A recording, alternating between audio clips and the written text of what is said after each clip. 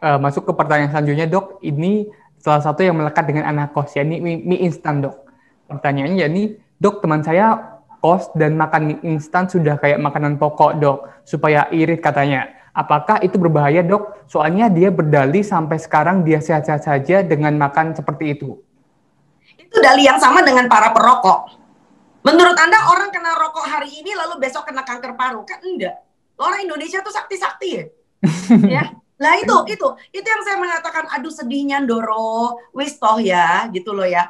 Mie instan itu diciptakan karena sebagai makanan makanan apa ya? Istilah saya itu makanan pepet Ya seperti kayak sekarang itu di Kalimantan Selatan ada korban banjir begitu banyak. Hmm. Sulawesi Barat Majene korban gempa bumi. Gak mungkin hari pertama orang mendirikan dapur umum. Gak mungkin. Orang masih bingung. Tapi kan perut perlu diberi makan. Ya, ya. jadi itu problemnya kenapa mie instan, makanan instan, bangsa kayak kornet dan sebagainya, sarden, itu adalah makanan yang tadinya diciptakan untuk kondisi begitu. Hmm. Ya sama seperti kayak mapa, eh, ini apa mahasiswa pecinta alam ya naik ke gunung, ya kan? Nggak mungkin kan ke gunung bawa dapur kan gitu loh. So, barangkali itu pun dengan catatan mie instan bukan makanan yang baik sebetulnya. Mereka bisa membawa yang namanya ubi, mereka bisa membawa namanya kentang atau pisang misalnya. Itu jauh lebih memberikan mereka energi yang baik ya. Nah, yang menjadi problem adalah ini satu hal.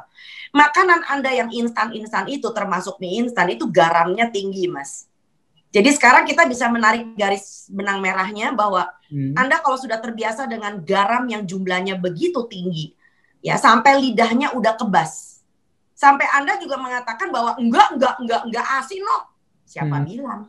Gitu loh ya. Jadi lidah Anda sudah kebas. Itu yang kita takutin. Dan itu akan terbawa menjadi suatu kebiasaan nanti kalau suatu hari menjadi ayah atau menjadi seorang ibu. Cari yang praktis gitu loh ya. Jadi ya sedih aja sih. Semua itu dibutuhkan niat dibutuhkan suatu intensi ya dan jujur ngomong kalau orang udah biasa hidup sehat itu sama seperti orang biasa bersihin rumah ya. orang kalau biasain bersihin rumah dia nggak berasa rumahnya bersih loh mas ya tiap hari begitu aja ya ini rumah saya tapi coba itu rumah ditinggalkan satu bulan jangan dibersihkan baru dia lihat wah kotor setengah mati nah itu badan kita kadang-kadang kalau kita ngerawat badan kita sama seperti kayak gedein anak kok kayaknya gitu-gitu aja ya Sampai akhirnya kita nggak menghargai.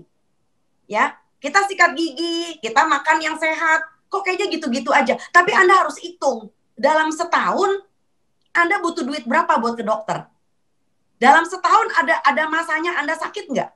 Dibanding dengan teman Anda itu, gitu loh ya. Kan dia kan nggak lapor ke kamu kan kalau dia pergi ke dokter kan, gitu loh ya. Ya, jadi jangan lihat uh, yang bagusnya aja. Jangan lihat yang temennya mengatakan saya makan mie instan udah 10 tahun nggak mati-mati yo. Lah ini sama kayak orang sekali lagi perokok. Ya, engkong saya ngerokok 90 tahun nggak mati-mati, matinya ditabrak bajai. Loh, Anda nggak bisa membandingkan dengan cara seperti itu gitu loh ya. Jadi kalau dia nggak ngerokok mungkin uripnya bisa 125 tahun karena ngerokok makanya dia serangan jantung di depan bajai. gitu loh ya. Jadi jangan sombong. Terima kasih sudah nonton. Jangan lupa like, subscribe, dan share ya.